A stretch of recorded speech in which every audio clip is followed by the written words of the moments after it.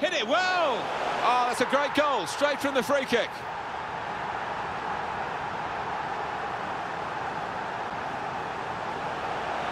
Goalkeeper almost got there, but it wasn't a strong enough touch.